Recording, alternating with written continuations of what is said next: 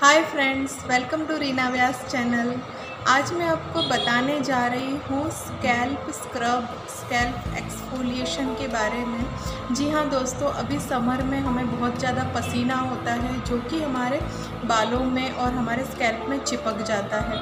उसकी वजह से डस्ट भी चिपकती है। भले आप घर के बाहर नहीं निकले, फिर भी घर में भी डस्ट आती है, वो भी बालों में चिपक जाती है, जिससे कभी कभी बालों में स्मेल भी आने लग जाती है और हमें सबसे ज़्यादा हेयर वॉश की ज़रूरत पड़ती है समर में, क्योंकि हमारे बाल एकदम से अजीब से दिखने लग जाते हैं और हल्की हल्की से स्मेल भी आने लग जाती है, क्योंकि पसीना बहुत होता है। तो फ्रेंड्स इसमें सबसे ज़्यादा ज़रूरी होता है ऐसे सीज़न में।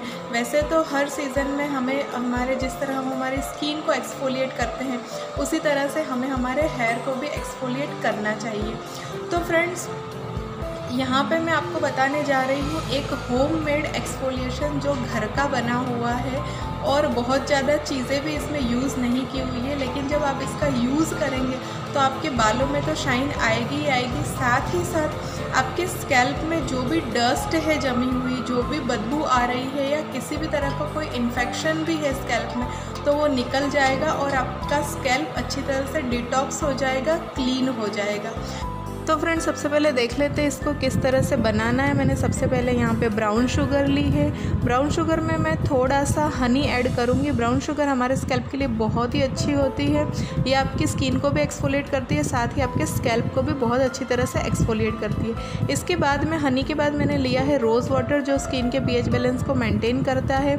और फिर लिया है एप्पल साइडर विनेगर जो बालों के लिए बहुत ही अच्छा होता है। ये बालों में कंडीशनिंग का काम करता है। इन सारी चीज़ों को आपको बहुत अच्छी तरह से मिक्स कर लेना है। यहाँ पे आपका स्कैल्प का पैक रेडी हो गया, जो आपके स्कैल्प को डिटॉक्स करेगा एक्सफोलिएट करेगा।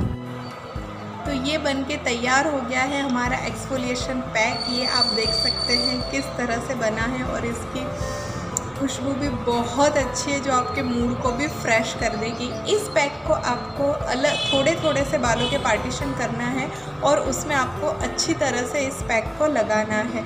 आप जितना पार्टीशन करेंगे, उसमें उस पैक को लगा के और अच्छी तरह से आपको इसका मसाज करना है। इसी तरह से आपके पूरे स्कैल्प में आपको इसका अच्छी तरह से मसाज करना है। और मसाज करने के बाद में आपको किसी भी प्लास्टिक की कैप से अपने सिर को बाँध देना है ताकि उसको अच्छी तरह से हीट मिले। हीट मिलने से आपका ये पैक बहुत अच्छी तरह से वर्क करेगा और आपके बालों में भी शाइन आ जाएगी स्कैल्प भी अच्छी तरह से क्लीन होगा।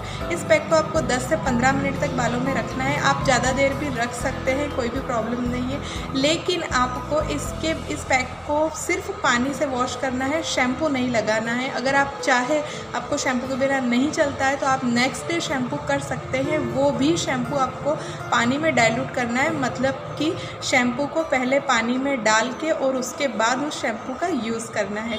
तो फ्रेंड्स इसी तरह की इन्फॉर्मेशन लेके मैं आपके पास आती हूँ। अभी मैंने स्कैल्प डिटॉक्स बताया, आपको स्कैल्प एक्सफोलिएशन बताया और भी बहुत सारी अच्छी अच्छी वीडियोज़ आने वाली है जो आपको इस समर में बहुत काम में आएगी। तो ये चैनल अच्छा लगता है तो इसको लाइक कीजिए, इसको शेयर कीजिए, इसको सब्सक्राइब कीजिए, ताकि दूसरी फीमेल्स को भी इस तरह का बेनिफिट मिल सके।